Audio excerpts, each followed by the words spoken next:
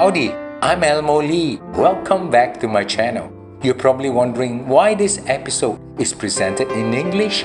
Well, if you have watched all my videos from the beginning, you would have noticed I actually started my channel in English. But since I feature mostly Chinese food, I thought presenting in Cantonese would be more appropriate. Initially, things were pretty good. Even the English educated audience were happily watching my videos thanks to the English subtitles. Unfortunately, of late, the viewership was getting from bad to worse. Perhaps watching one episode per week was too exhausting for you. Or maybe you're just bored with the same format. That's why I'm trying to make it a little more appealing for you, like changing the language for one. Granted, there's no hard and fast rules. Let's say I'm just a little desperate now. Please leave a comment and tell me if you are comfortable watching it in English or otherwise. Basically, I'm a gadget man. New technologies and products interest me. That's why I watch a lot of unboxing videos on YouTube. Perhaps I should jump on the bandwagon and do a video unboxing my Perodua Ativa X. Whilst I can't say this is an in-depth review of the car, but this is what I can share with you after waiting 6 months for it. For starters, there are three variants Ativa X, Ativa H, and Ativa AV. The price ranges from 61,000 to 71,000. Ativa basically is an adaptation of the Daihatsu Rocky launched in Japan in 2019.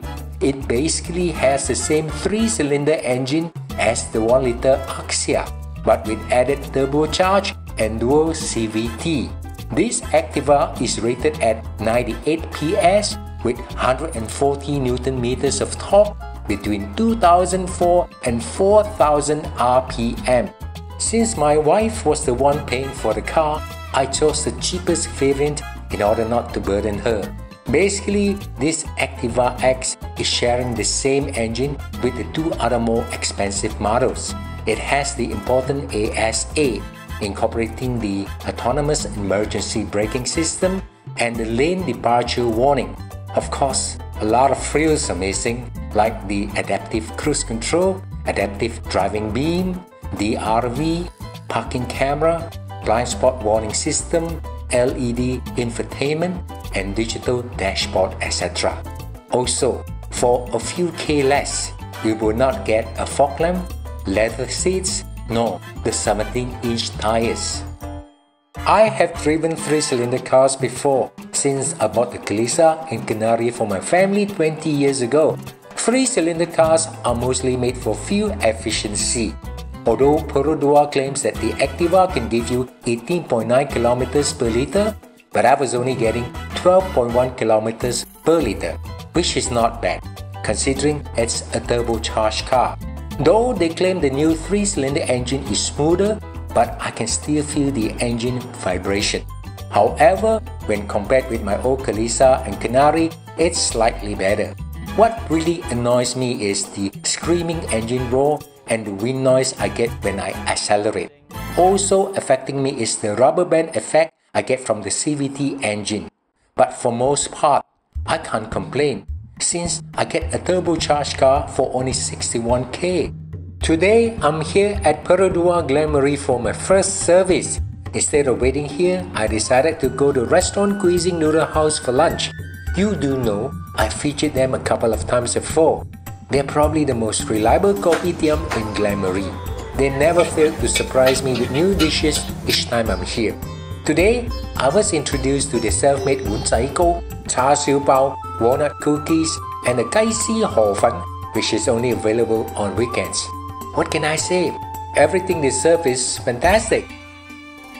Let's get to the core subject, PJ Old Town. You probably know I've featured it many times before, but in bits and pieces, not on the whole. PJ Old Town was once known as Effingham Estate, built by the British to deal with the overpopulation of KL. This was in 1952 when the roads were not tarred with wooden houses lined the street.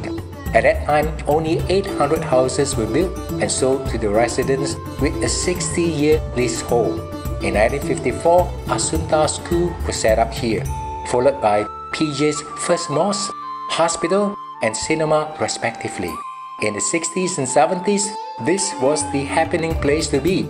A lot of government servants and Malay elites lived here, including some famous politicians too. Not to mention some of the best food which are found here. One of the oldest surviving restaurant, Heng Kee Bakute, which was opened in 1973. Of course, who could forget PJ's first Medan Selera and the ever popular Sunli Kopitiam? For this episode, I'm again inviting my buddy Danny to help me identify some of the old gems of PJ Section 1, better known as PJ Old Town. I hope this compilation won't disappoint you. If you like this video, please give me a thumbs up, share it, and consider subscribing if you haven't done so. Thank you. Now in no particular order, allow me to showcase the better tasting food of PJ Old Town.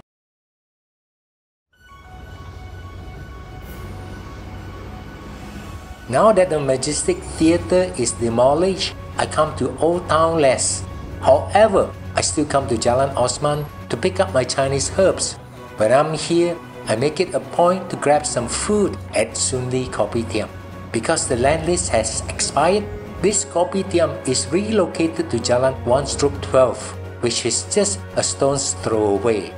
Although a little cramped, but most of the vendors are still here, especially my favorite Kway Teow Theng. People claim that this is the best Kway Teow Theng in PJ, and I fully agree. Meet the second generation owner Mr. Yi, who took over from his father, who started the business some 50 years ago. The best thing about this Kway Teow Theng is, it is still the same as 50 years ago. The robust umami tasting broth and the generous toppings.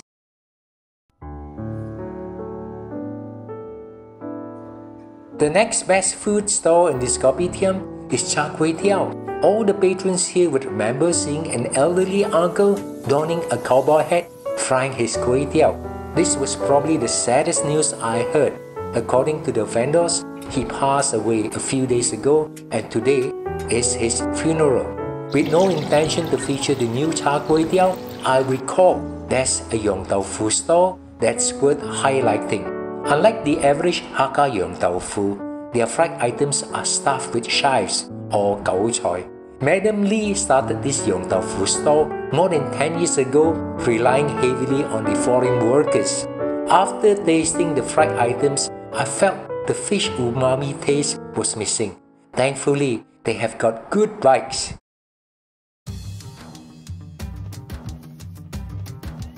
We are now at New Old Town Restaurant at Jalan 2 Stroke 32. Strangely enough, this is actually three kopitiams housed in one premises. I was even told that the food must be served within the respective kopitiams where you ordered them. I was attracted to the wonton mee because of the skill this uncle was proudly displaying. Meet Mr. Chan. He and his wife have been running the business for 20 years. He told me they used to make their own noodles but stopped since they lacked manpower. Even though the wonton mee is their main fare, but the curry variants seems to be the favorite among the regulars. We tried both the wet and the dry curry versions and found the latter more appealing. Good noodle texture mixed to perfection. Within the same premises is Lee Wong Ki Kopitiam. As we were walking in, a fan recognized me and encouraged me to feature Lee Wong Ki's meat rolls. He added, Although the noodle dishes they serve are good, but in his opinion, the meat rolls are the finest in town. I managed to catch the owner Mr. Lee in the kitchen preparing the meat rolls.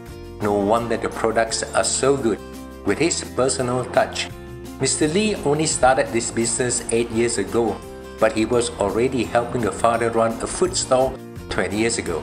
I asked the owner what are his best items. He said the roasted duck is the most popular item. Unfortunately, his supplier ran out of ducks. Upon tasting the food, I found everything fantastic, although I was most impressed with the char siu and the siu yuk.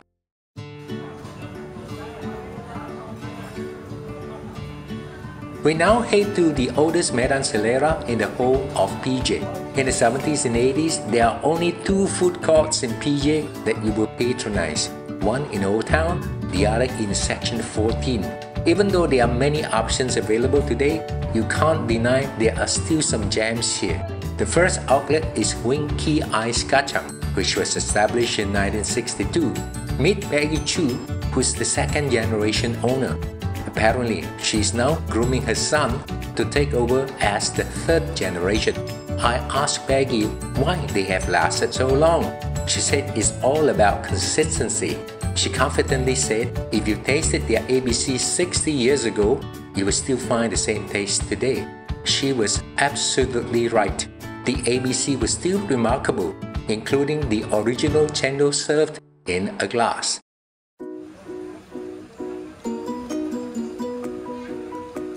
Just next to the ABC store is this very versatile number 45. Meet the prolific owner Jenny Su, a local resident who actually studied in Assunta School.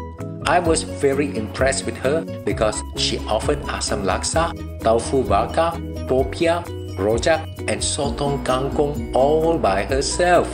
Did you know, in the event if she decides to hire an extra hand, the staff must be a local, since the authorities forbids foreigners working in this Medan Selera. Basically, all the Nyonya items offered here are my favorites, so it was difficult to make a choice. Jenny then recommended the rojak and sotong kangkong since these are her popular items too. I was quite pleased with the recommendation, but the kangkong sotong really blew me away. The tangy sauce was the most unique I ever tasted in kangkong sotong.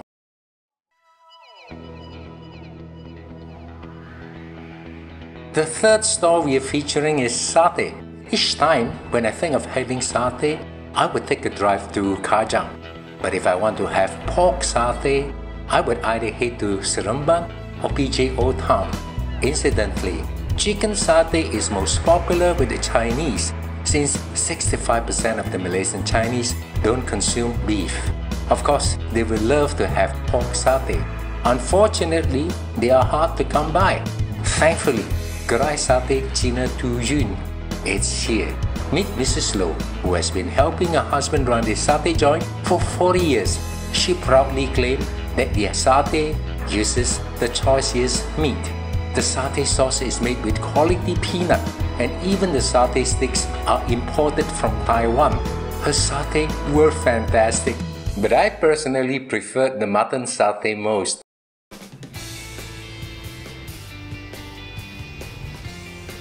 Most people would agree that Heng Kee offers the best bak kut teh in Old Town. When I went to feature them more than a year ago, I was very impressed with their bak kut teh, but felt they were a little commercialized. Apparently, this Tian Tian Lai bak kut teh is often considered a substitute since they are available in the day, whereas Heng Kee only opens in the evening. Meet the owner Mr. Yong, who hails from Jenjarom. He has been running this store since 1985. I asked him, since you live around Klang, your bak kut teh recipe must be adapted from there. He said not completely, because he made modifications to it along the way. Upon tasting the soup, I found it more flavorful than Heng Kee, with more pronounced robust umami taste.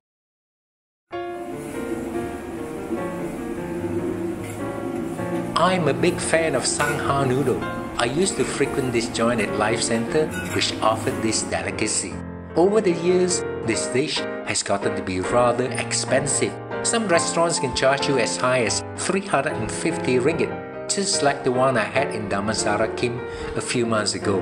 So can you imagine how delighted I was when I saw that Loy Kee was offering Sanghao noodle at only 55 ringgit? Meet the owner Mr. Chia who's been running this business for 20 years. Basically, this is a Siu Chow joint offering noodles and side dishes. Mr. Chia is so lucky to have a very capable wife who does all the cooking.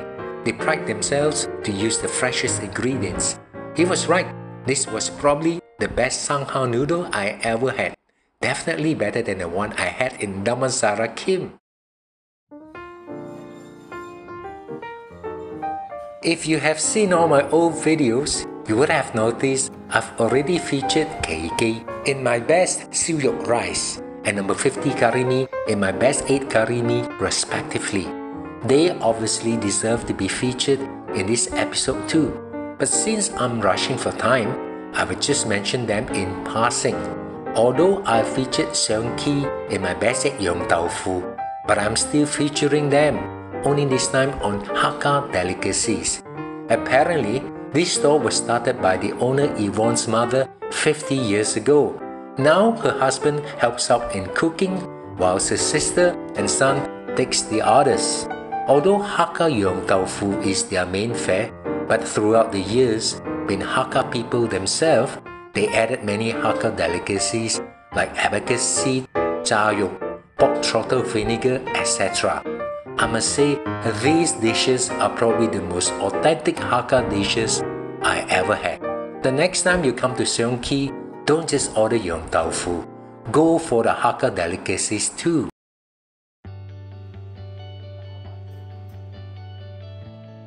We are featuring the last establishment of Old Town Medan Selera, Kavita Banana Leaf.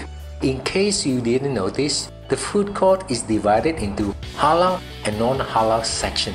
In the halal section, Kavita is so big, they occupy all units of stall space. Meet the second generation owner, Mr. Jaya. His father Krishnan started the business in 1974. They are probably the most comprehensive banana leaf joint I have seen. All the Indian dishes you can think of, including Indian cookies, are sold here. One customer was telling me that their masala tea is the finest in town. Even though I was so attracted to their hidangan, but I can't enjoy the food now since I was too full. Instead, I had to tapao. It was obviously a joy to have Kavita banana leaf even at home.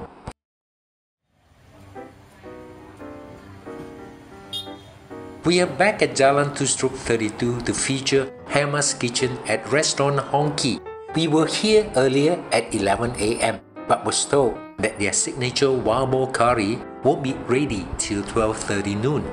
This is a regular Indian outlet that offers thosai and an assortment of curry dishes but with a twist. They serve the boar in curry, rendang and varuval style.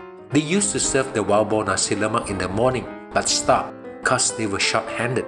Meet the owner Mr. Vijay who followed his father's footsteps to be in the food business. His wife Hema, who hails from Batang Berjuntai, is responsible for the delicious food here. Unfortunately, we arrived at 2.30 pm, the wild boar dishes were all sold out. Thankfully, the owner treated us to the mutton varuval, which is the second best item in the menu.